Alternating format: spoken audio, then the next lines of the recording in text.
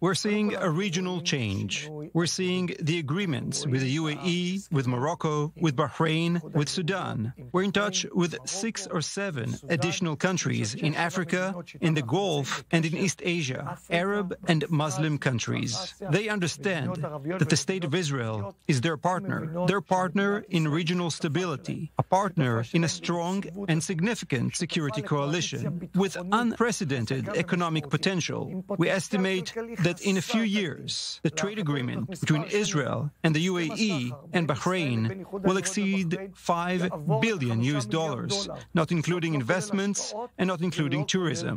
Therefore, countries that seek security, stability, welfare for their people, economic potential, it goes through ties with the State of Israel. And if the US policy continues, without a doubt, we'll see more peace agreements.